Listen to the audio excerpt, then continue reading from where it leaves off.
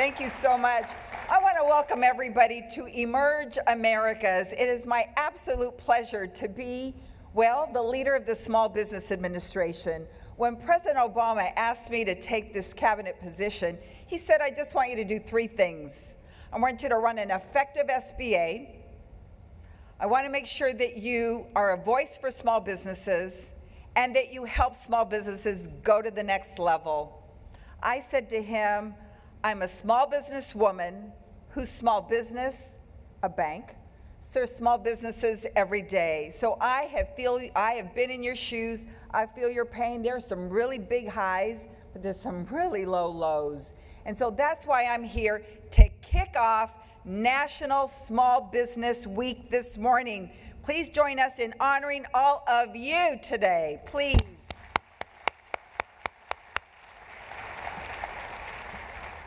We want to do two things this week. Very simple agenda. One is to celebrate entrepreneurship, to honor the work that you do, to celebrate the contributions that you make to our society, recognizing that today's economy is stronger than it has been in a long, long time, folks. We've had 61 months of consecutive job growth. We have had an uptick in the Dow Jones. When President Obama took office, it was hovering under 9,000, and now it's hovering over 18,000. Remarkable, remarkable achievement. So, really proud of the accomplishment. But when the Secretary of Labor enters the room and says, We are now experiencing incredible job growth, I get to say that it's the small business community that's creating two thirds of that job growth. So, again, this is a salute to you. The second thing is it as is it what it is is to remind Americans and remind people around the world that in order to support you, we need to make sure that we're shopping small and that we're shopping local to assure that we're lifting your businesses up every day. So I hope that as you are getting ready for Mother's Day, for Father's Day, or enjoying this graduation season if you have somebody graduating, that you are indeed shopping for moms, dads, and grads.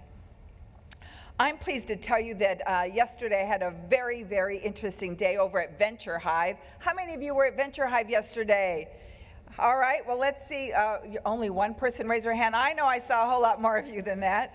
Okay, very good. And I know that there was a great competition, and I just wanted to thank the judges, the mentors, but mostly the risk taking entrepreneurs who were there. As we said, we know that some of you are going to come away a little richer uh, but more, all of you will come away richer in terms of the relationships that you will make. And so, congratulations to you.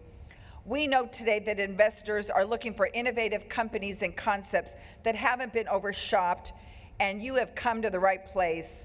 Again, I want to thank all of you for the hard work that you're doing. It's no accident that we find ourselves here in Miami. Miami is the Ellis Island of our generation. It's a city where minority owned businesses are in the majority and immigrants are the beating heart of the local economy. The truth is, we're all immigrants, with the exception, of course, of the Native Americans, the firstborn here in this nation. None of us are truly from America, but all of us are of America, precisely because our journeys, our families took to get here. It may have been your parents or your grandparents or their parents and grandparents but someone wanted you to be in America. That's the thread that binds us all. In Dr. King's immortal words, he said, We may have all come on different ships, but we're all in the same boat now.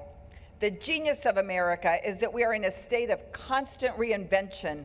We welcome newcomers who are hungry, who are driven, and who are hardworking, imaginative. We know the immigrant journey is not an easy one. It rarely is. It takes courage.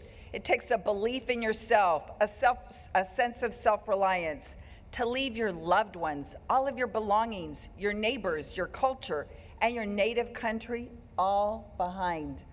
A yearning to learn new things, meet new people, and discover new ways. That's right, it takes an explorer's heart, a willingness to start from scratch build something, in many cases, build something big. In short, it's the entrepreneurial spirit.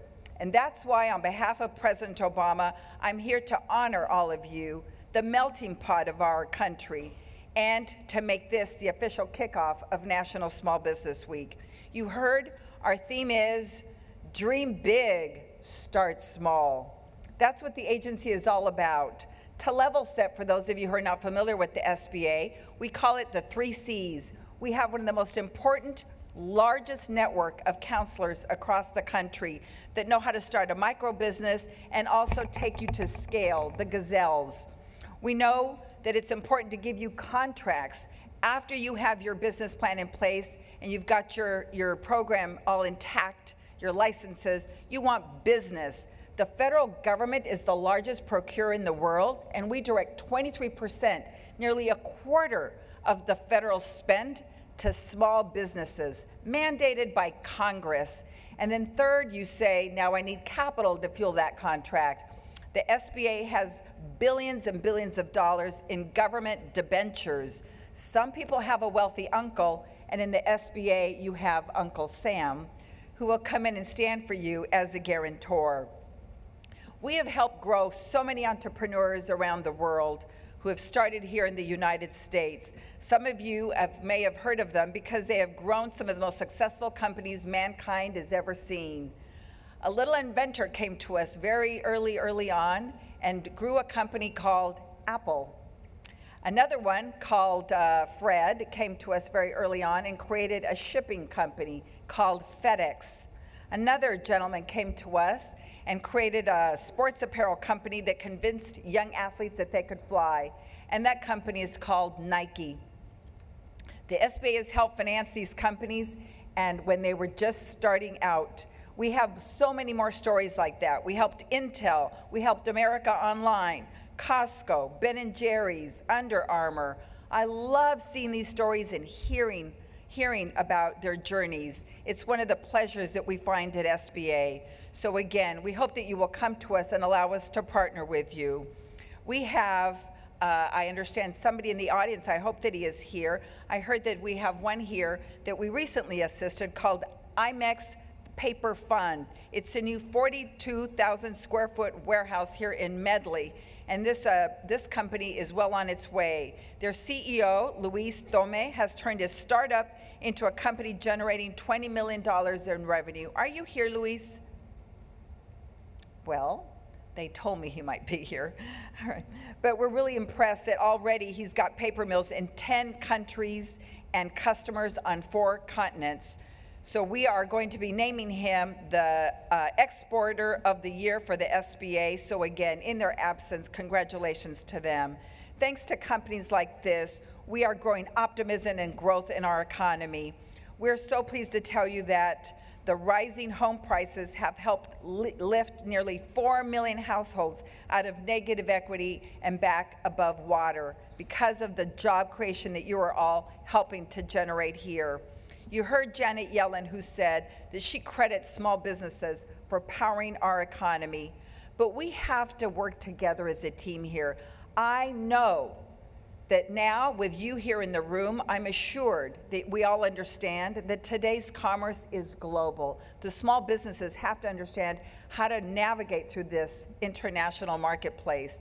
And so I convened the first ever, the first ever global ministerial where I was able to convene all of my counterparts around the world. With the assistance of the Kauffman Foundation, we had 150 nations show up. And we talked about what it is to fail, and some countries had more advanced ability to file for bankruptcy than others.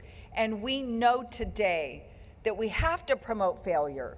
If you're not failing, you're not pushing the envelope. You can't disrupt, you can't innovate if you don't have an ecosystem that supports failure. And so I was really pleased to hear the, the reaction to our programs that we had here. Morocco asked us if we would help them design their bankruptcy laws.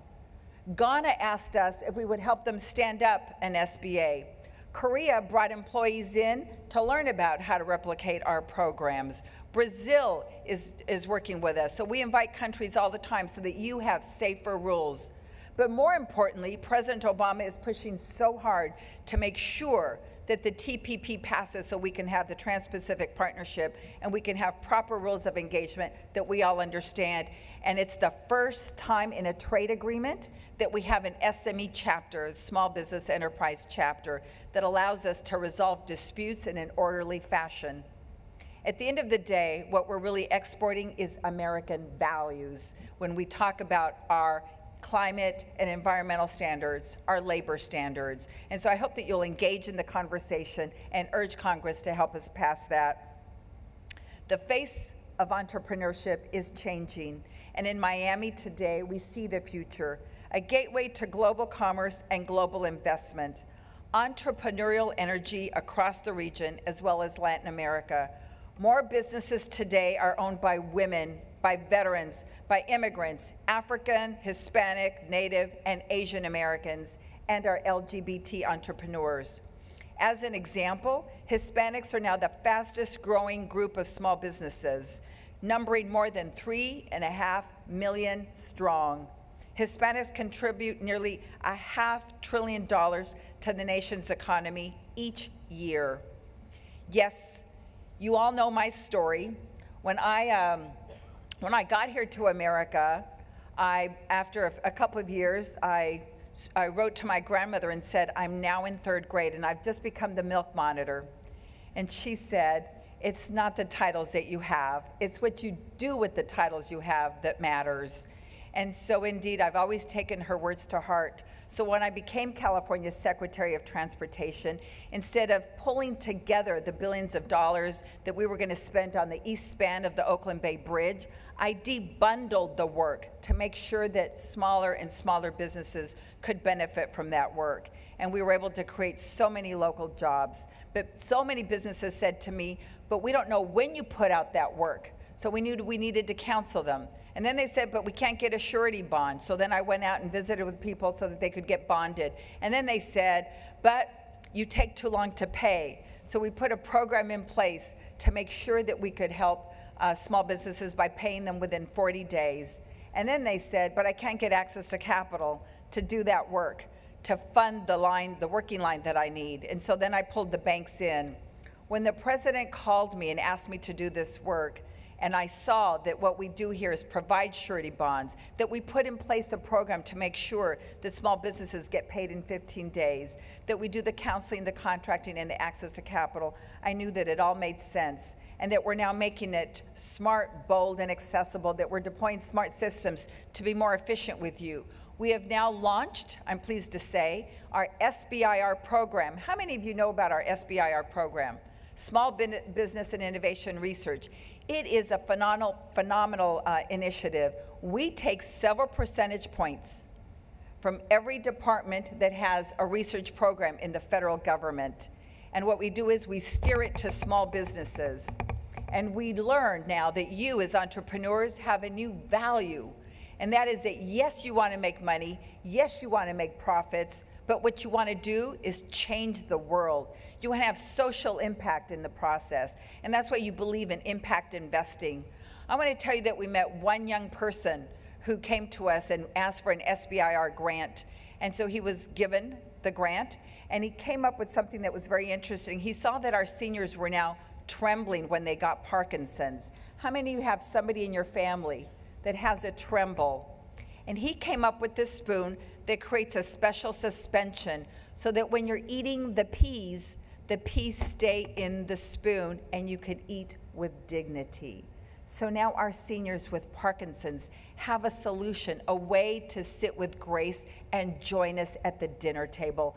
This is what SBIR does, and this is what you are doing around the world. Congratulations to Anupam Pathak. Congratulations to him for this. Just recently, another young man came to us and said that he wanted to disrupt. He saw that styrofoam lasted forever, 500 years maybe, and so he took mushrooms that are photo and biodegradable, and he said, I'm going to create a new styrofoam from this. And as a result, now when you use his styrofoam, you place it back out in the, in the uh, open and it becomes compost and grows new things for the future. That's what our SBIR program does. And so I'm pleased to tell you that we're taking the combination of the ability that we have to empower you. So many of you said because you speak Spanish and you wanted to do this work, that you wanted to come to our site, but it wasn't responsive to you. So today I have another announcement, and that is that today we light up what will become one of the first federal agencies with a completely bilingual website in Spanish. Is that wonderful? And you know how those, uh, those uh, commercials go, but wait, there's more. I want to share with you that, in fact, uh, we have another initiative, and this SBIR program that I just designed, we wanted to make sure that you could benefit from the innovations of others who came prior. And so what we're doing is we're looking at, we're looking at ways in which we can now share with you big data, data that shares with you what it is that somebody else has already invented you know, we always have an idea, and then later we find out that somebody already had that idea. And so I'm delighted to say that, in, in fact, today we also light up the new SBIR website that now is much more efficient, cleaner, and has a lot more data so that you can build your innovations on top of that. Let me just close with this thought. That is that we all come from different places, as I said, and my story is no different than yours. As I mentioned, when I came here from Guadalajara, Jalisco, Mexico, I couldn't speak a word of English.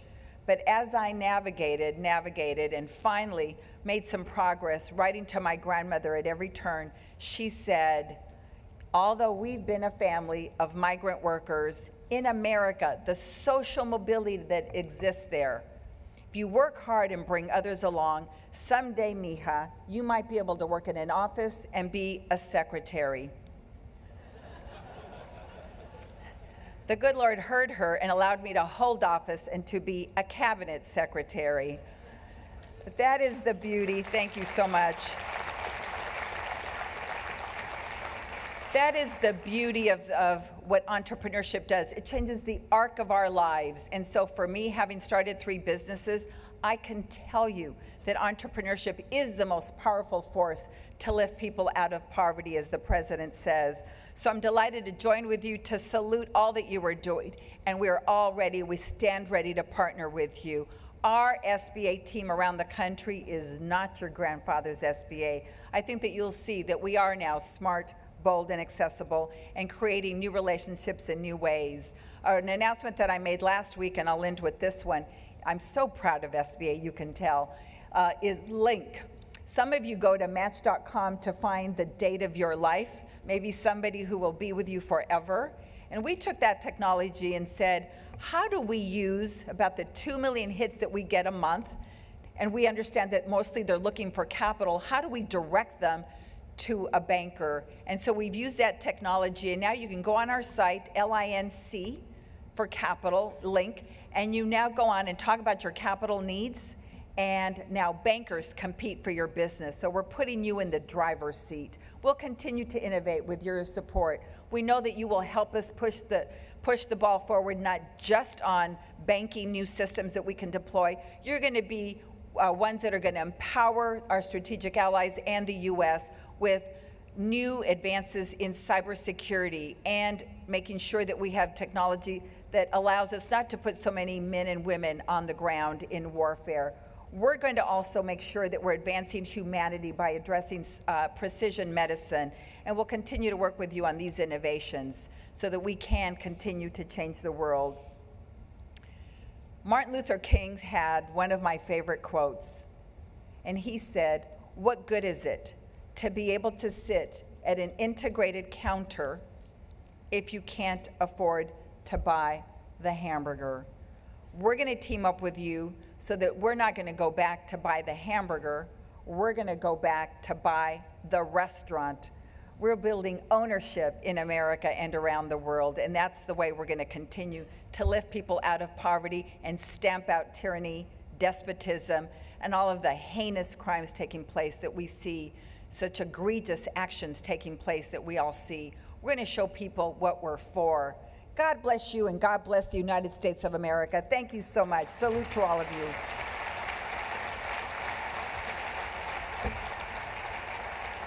Let's continue the conversation. My uh, Twitter address is MCS4Biz, and I hope that you'll follow our hashtag, which is Dream Small Biz. God bless you again, and Godspeed to all of you in your successes and inventions. Thank you so much.